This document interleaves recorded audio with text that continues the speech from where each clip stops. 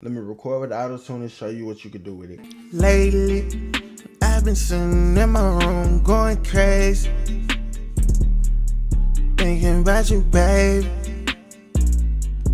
Thinking about you, babe.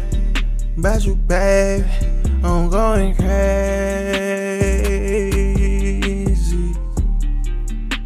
I swear, swear, swear, swear, I'm going crazy. Hey, hey, that's crazy. That's crazy. That's crazy. Right up, play it. Lately, I've been sitting in my room going crazy. Thinking about you, babe. Thinking about you, babe. About you, babe. I'm going crazy. When it comes to using Auto-Tune Realtime X, it's not that complicated. Just be sure to have a solid foundation. And your foundation is going to come from your key, your scale, and your retune speed. All right. Those three, that's the holy trifecta when it comes to using this AutoTune.